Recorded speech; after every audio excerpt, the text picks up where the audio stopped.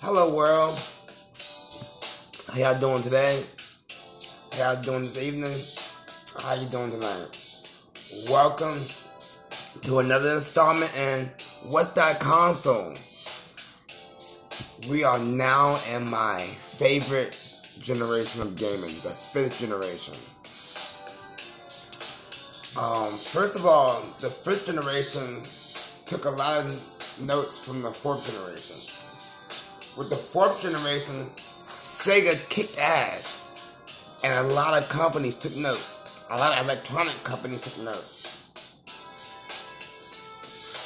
They said, man, if Sega can go to notes, so can we. Hence, the graveyard consoles in this generation. There's a lot of them. The generation kicked off in 1993 with the FM Towns Marty. I don't have that. But I do have the second console that came after. A lot of these consoles didn't last long.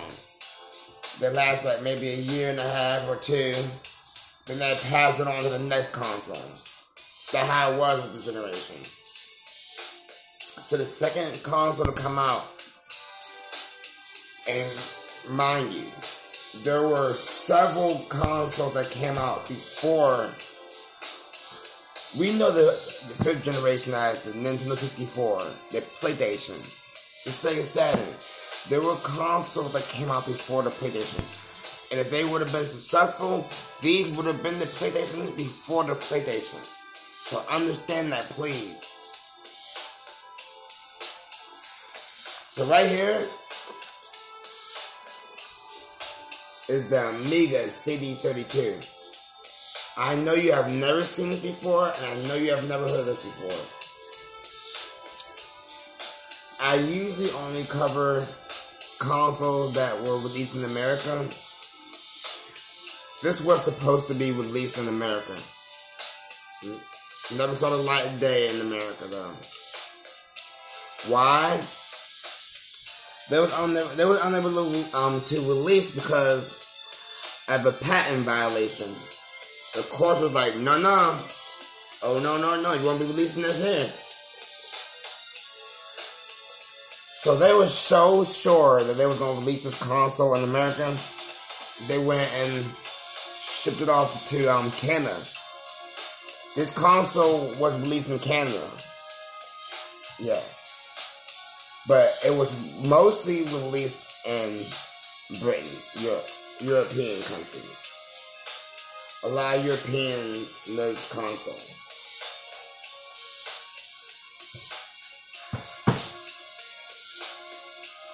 There's 147 games that were released for the Amiga CD32.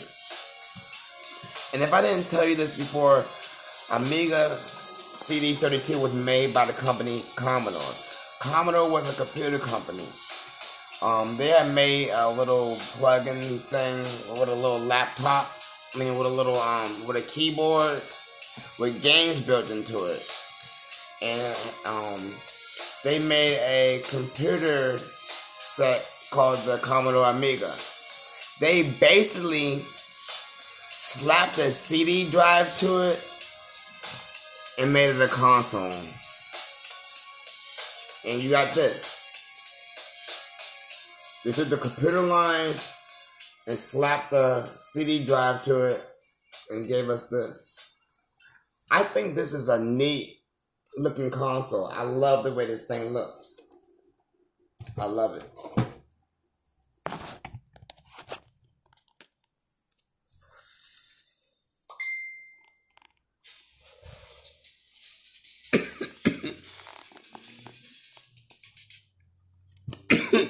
That's the reset button. Welcome to Celebrity Marley. There's a lot of great people playing. Has a volume thing. They're all gonna get their ass whooped either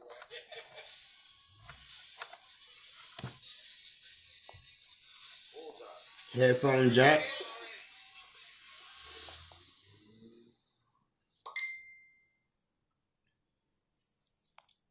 So the controllers go on the side.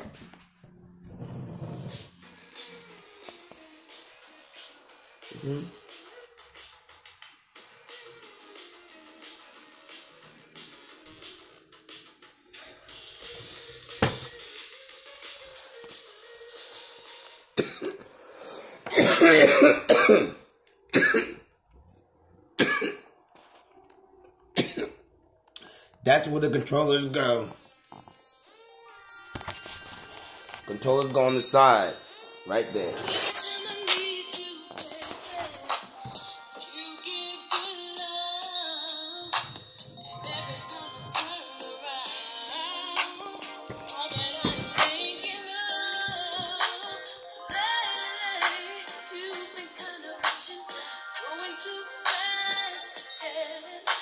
That's the power button. That's the power button right there.